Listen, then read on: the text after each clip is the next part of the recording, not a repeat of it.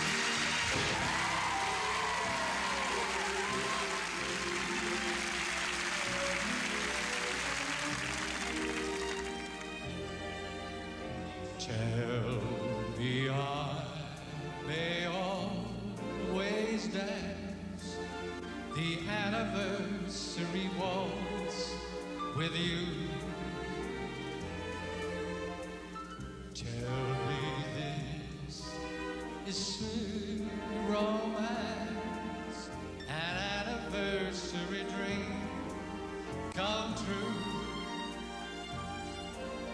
Let this be the anthem to our future years. Millions of smiles and a few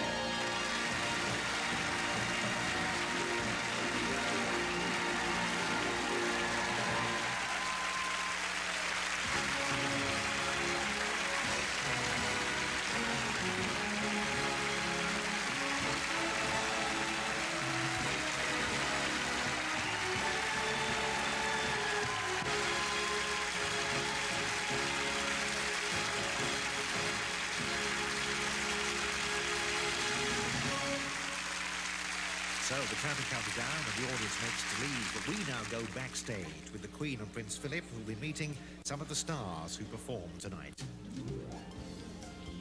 Laurie Mansfield introduces Her Majesty to Nigel Lythgoe, controller of entertainment at London Weekend Television. He also had the mammoth task of producing the show for TV tonight. He's now going to introduce two members of his very experienced team, associate producers Jeff Thacker and uh, Isabel Hatton. The show's musical director, Trevor Brown. And with the cast of the hit musical Chicago having left to do another show, the Queen now meets Lucy Williamson, Carmen in another hit, Fame.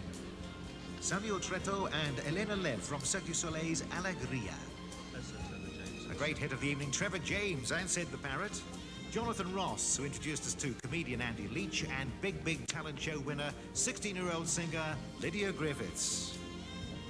Vladimir, who flew in from Las Vegas.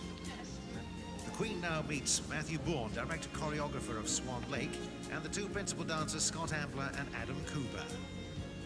The Big Big Collar of Harry Hill. Michael Ball, who sang with Broadway star Barbara Cook. Jolly Jesters Joe Pasquale and Brian Conley. The hauntingly beautiful voice of Enya. It's hello to him and it's hello to him. Showstopper is a term often used but rarely seen in show business. Without doubt, the two Ronnies stopped the show tonight when they arrived on a motorbike and sidecar masquerading as the two fat ladies. It was their first time on stage together in 10 years. Michael Bolton, who flew in especially from Italy for tonight's performance. Emma, Victoria, Mel C, Geri, and Mel B. Together, the Spice Girls. Who'd have thought that 18 months ago their music would have conquered the world, allowing them to meet its leaders? Everyone from Nelson Mandela to Prince Charles, and now Her Majesty the Queen. Jim Davidson, a favourite of the Queen's, both she and the Duke chuckled at his cheeky corgi joke. Celine Dion, the First Lady of Song, who delighted us with two beautiful ballads tonight. Finally, the master of the big occasion, Des O'Connor. I don't advise you to take it from walk up into High Street as Mr. Grant suggested. A reference to Leslie the Camel there. Des always relaxed on these highly charged occasions. As the royal party prepares to leave, the Duke of Edinburgh has a final word for the cast. Well, happy Christmas. Thank you very much, sir. So, with those seasonal words, it's goodbye from all of us on the 1997 Royal Variety Performance.